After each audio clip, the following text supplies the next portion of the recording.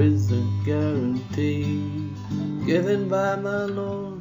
If you live by the flesh, you'll surely die. What he's saying here is if you live in sin, your relationship with him will not survive.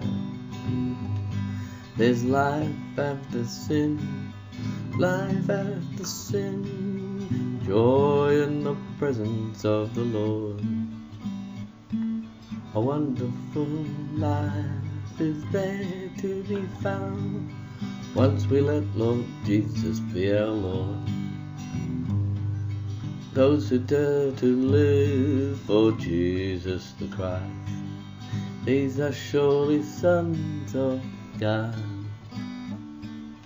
Putting to death the works of the flesh by living in the light of His Word.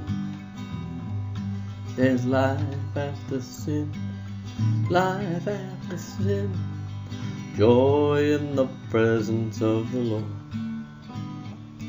A wonderful life is there to be found once we let Lord Jesus be our Lord. The carnally minded will die, the spiritually minded will live with joy and peace and love in their hearts. And old man and woman just won't live.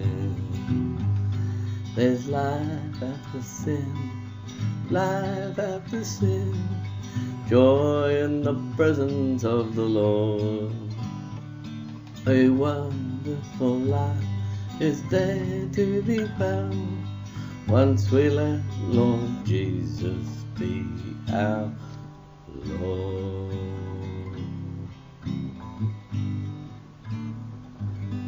Thank you, Jesus.